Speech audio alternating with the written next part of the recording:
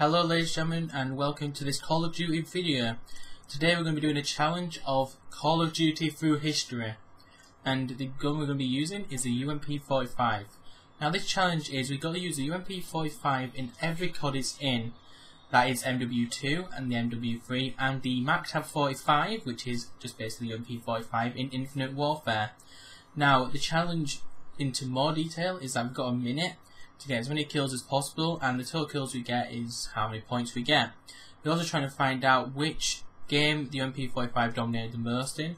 Uh, so let's get right into it with MW2. Just load into a game of Karakian Team Deathmatch and uh, that's our UMP pass up just saw. And we're going to start in 3, 2, 1, let's go. Start the time. So for those that don't know, um, I forgot to mention that these are mid-team deathmatch. Oh, one mile. I didn't really play Modern Warfare 2 a lot, and I haven't played Modern Warfare 2 a lot. I just looked at my playtime, it's 28 minutes. So don't expect me to do this gun justice. I think the MP is probably best in this gun in trained hands. Um, and I might not do it justice here. I don't know this map too much either. God, is shotguns the mayor in this? Half the time's gone already. I might get zero kills on this. We got one. We got one kill. We've got something. Got to be over here. Freaking shotgun! It doesn't help that I can't hear game sound because I've got an Xbox 360 headset and my headphones don't work with my TV. We've lost the lead. We got two. The time's gone. It's a annoying beat. Uh, so let's head on over to MW3 and hope I can do better in a gun that I've actually played. We're now on MW3, uh, that's my UMP self, and now we're on the map Gulch. So we've got two on MW2, so hopefully we can do better on MW3. Hopefully let's get three. Um, on top of this building. It's been a while since I've played MW3. I have come back to it since um, next gen or current gen, I guess. Yes, two. Oh no, I got third. Uh, how's last time looking like? Oh, we're halfway there.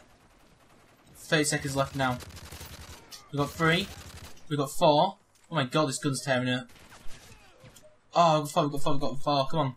Twenty seconds left. Oh, I've got an assist. oh my this, I'm feeling so nervous right now because I really want to get a fifth. Five. I need to reload. Six. And that's time, we've got six. And I'm gonna kill you for good measure. There we go, we've got we've got we've got six, we've got seven kills. Um so I'll see you in IW with the MACTAV 45. Load onto a game Scorch now, and uh, the time will start in three, two, one, go!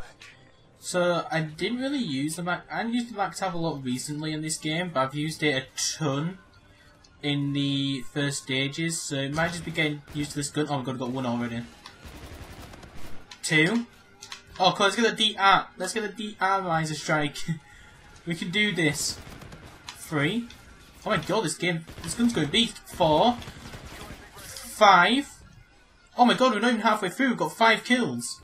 Let's put you over here.